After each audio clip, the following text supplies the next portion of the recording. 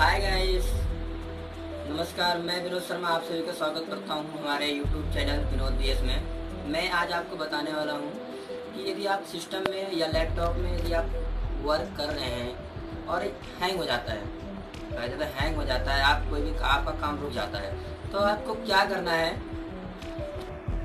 मैं आप, मैं आपको बताने वाला हूँ, आपको कीबोर्ड में कौन सा की प्रेस करना है। तो आपको कंट्रोल दबाना है शिफ्ट दबाना है, उसके बाद ई स्केप टॉप पर बिल्कुल लेफ़्ट साइड में होता है ई स्केप ई एस सी होता है, उसको प्रेस करना है, उसके बाद आपको विंडो पर उसके बाद आपको देखना होगा मॉनिटर पे या लैपटॉप है, आपको लैपटॉप के स्क्रीन पर देखना है।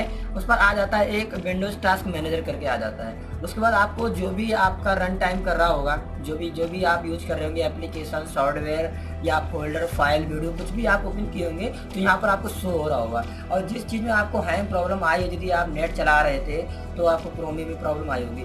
तो आपको जैसे हम नेट चला रहे हैं तो आप क्रोमी में राइट क्लिक करेंगे, या फिर जो भी विंडो रन कर रहा है उस पर आप राइट क्लिक कर देंगे उसके बाद डायरेक्टली आपको स्विच टू कर देना है या फिर एंड टास्क कर देना है। दोनों ऑप्शन आपको मिलता है एंड टास्क और स्विच टू दोनों कर देना है उसके बाद नॉर्मल से आपका सिस्टम ठीक हो जाएगा। उसके बाद आपका हैंग प्रॉब्लम दूर हो जाएगा कोई भी इशू नहीं आएगी। चलो। तो आपका हैंग प्रॉब्लम नॉर्मल से ठीक हो जाएगा।